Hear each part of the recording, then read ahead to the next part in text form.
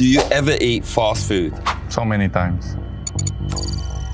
Will Portugal win the World Cup?